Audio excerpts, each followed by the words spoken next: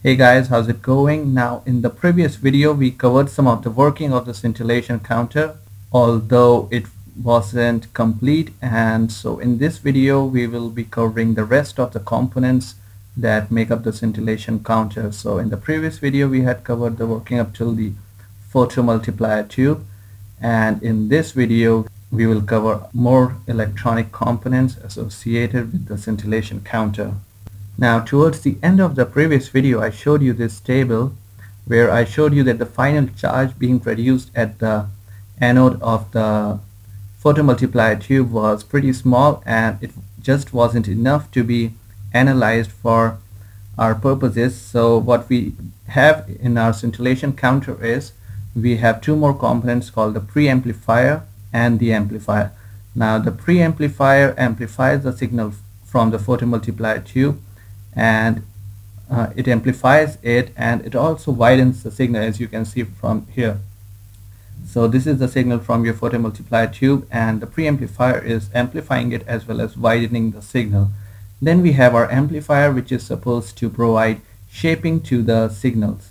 So now you can see that all the signals have a characteristic shape as well as they have they have been narrowed down. So they are thinner now. Then finally we have this pulse height analyzer which is what we use to get the output from the scintillation counter the output that we um, you know uh, the spectrum of the gamma rays is uh, obtained from the pulse height analyzer.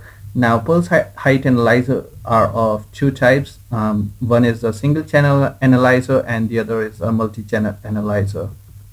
So um, in a single channel analyzer what we have is we have a lower level discriminator and an upper level discriminator.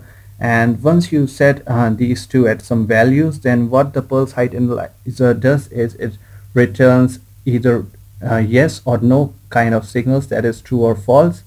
So whenever uh, the amplitude of the output of the amplifier pulse lies within the LLD and the ULD then your pulse height analyzer would return a true signal which would be a single pulse.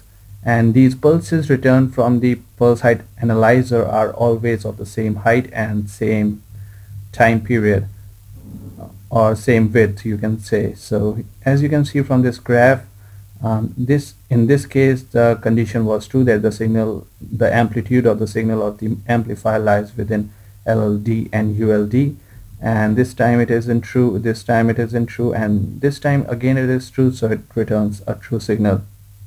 So the next component that we have is we have a scaler which is basically the counter.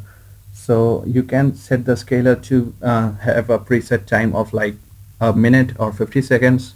So what it does is it counts the number of uh, truths uh, the, these pulses from the PHA uh, within that time period so that's uh, the remaining of the electronics associated to this scintillation counter so and yeah I forgot to tell you the MCA which is a multi-channel analyzer works in a kind of a different manner. Now, as you might have noticed, um, when we are um, using an SCA, that is a single channel analyzer, and once we have set the LLD and ULD to some particular value, what you can see is the uh, some of the information like when the pulses lie within some other voltage range, they do not show up in the PHA output.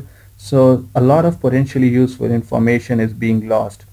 However, in an MCA, um, what we do is uh, the signal is fed to the computer and it um, re registers almost all the pulses so uh, in that case none of the information is lost and an MCA could be considered to be consisting of a series of single channel analyzers which are you know observing the output from the amplifier within small ranges like 0.1 to 0.2, 0.2 to 0.3 and they are all observing the output and uh, uh, registering the event. So this is the kind of an output that you would get uh, from your PHA and or maybe uh, your MCA like it would be uh, registering the events within some particular range simultaneously. So none of the information is lost. So that is the biggest difference between an MCA and an SCA that in SCA uh, once you are looking within let's say you are looking within a voltage range of 0.6 to 0.7